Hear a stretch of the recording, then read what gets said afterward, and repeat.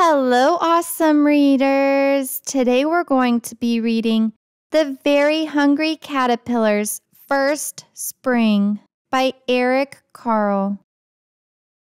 There's so much to do on a bright spring day when warm weather melts winter's snow away.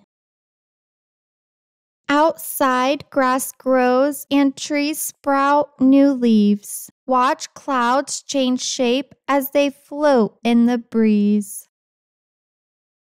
Quick, find an umbrella to help keep dry when rain drizzles down from gray clouds in the sky.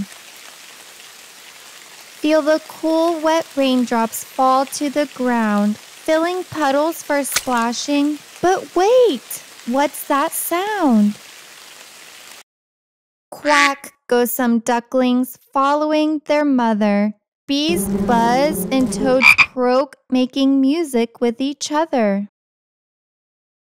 When the rain passes, the fresh air smells sweet. Stop to sniff flowers blooming, a very special treat.